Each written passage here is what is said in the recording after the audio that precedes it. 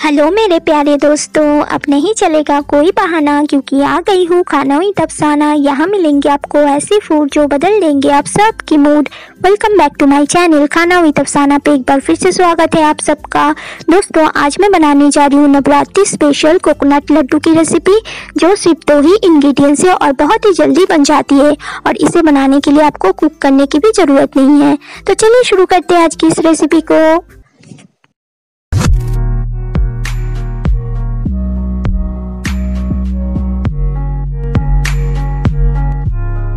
इसे बनाने के लिए हमने लिए हैं यहाँ पे दो कप नारी, नारियल का बुरादा। ये देखिए, ये किसी भी मार्केट में आसानी से मिल जाएगा और ये किस पैकेट में मिलता है आपको मैं दिखा देती हूँ।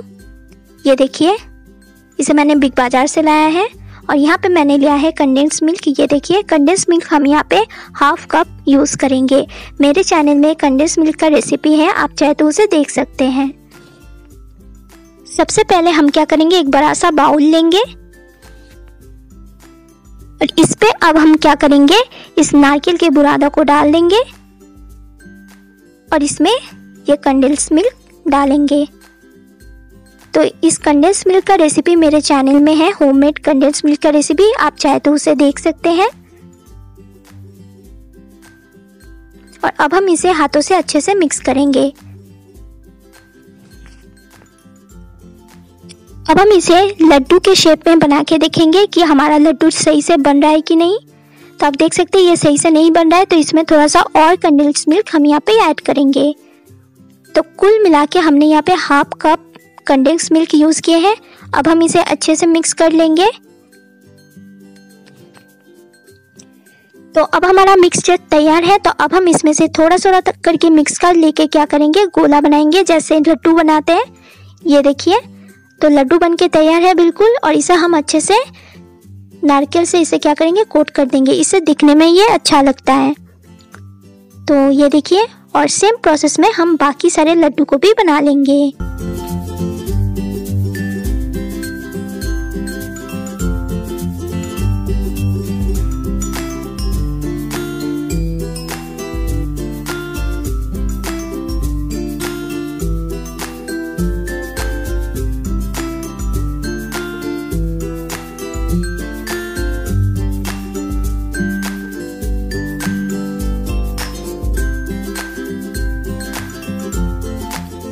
तो दोस्तों, हमारे सारे लड्डू बनके तैयार है, ये लास्ट है।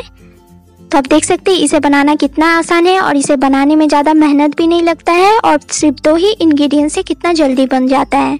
तो आप इस नवरात्रि में इसे ज़रूर ट्राई करें। तो हमारा लड्डू बनके तैयार है तो अब हम इसका प्लेटिंग कर लेंगे। तो अब हम इसका प्लेटिंग करेंगे।